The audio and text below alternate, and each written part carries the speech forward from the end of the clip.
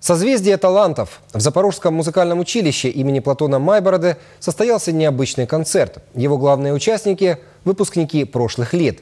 Для нынешних студентов они наглядный пример успеха. На концерте побывали и наши журналисты.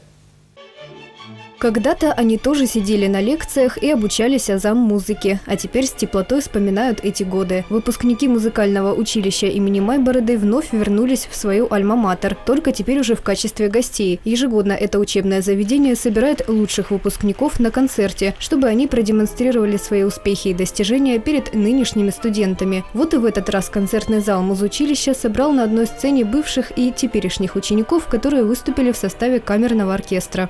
Наши ребята, вот те, которые учатся, увидя наших выпускников, они убедятся в том, что надо работать, надо стараться, этот труд будет вознагражден.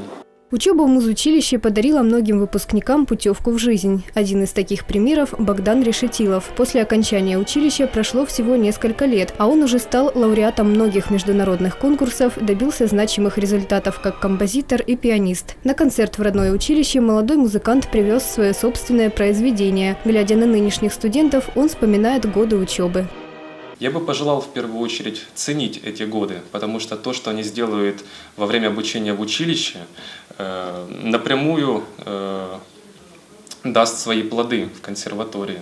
Потому что без того, что они сейчас делают, они смогут не поступить, не комфортно себя там чувствовать и не смогут развиваться дальше. С ностальгией вспоминает о студенческих временах и Светлана Ремжина. Сейчас ее голос звучит на самых престижных запорожских сценах. Однако первые шаги к музыке были сделаны именно в стенах музучилища. Именно здесь э, я родилась как музыкант, профессиональный музыкант. И, безусловно, здесь я получила основную базу для моего дальнейшего развития. Я закончила Киевскую консерваторию, получила вот в феврале этого года второе э, высшее музыкальное образование. Но все равно вот годы обучения, вот, этот, вот эта база, которая заложена, вот это зерно, которое вот сейчас вот проросло вот, и радует и меня, и я надеюсь, наших любимых запорожских зрителей. Нынешние студенты подчеркивают, этот праздник музыки и таланта стал для них хорошим стимулом для творческого роста и достижения успеха.